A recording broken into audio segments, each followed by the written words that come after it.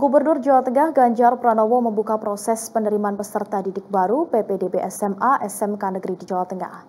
Pembukaan dilakukan di Tawangmangu, Karanganyar. Pendaftaran dibuka secara online mulai 15 hingga 28 Juni mendatang.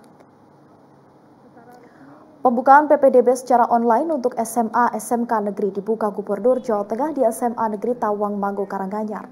Pembukaan PPDB ini digelar bersamaan dengan peresmian operasional unit sekolah baru SMA Negeri Tawang Manggu. Ganjar menyempatkan diri memantau proses PPDB yang dilakukan di sekolah tersebut. Ganjar mengingatkan kepada semua pihak untuk menjaga integritas dan menjauhi kecurangan.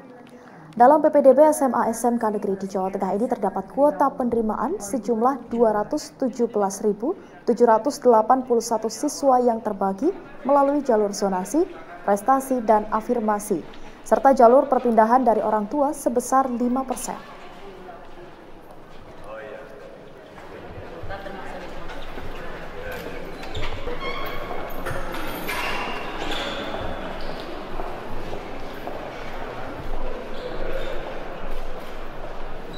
sudah seribuan tadi dibuka langsung 1.300an.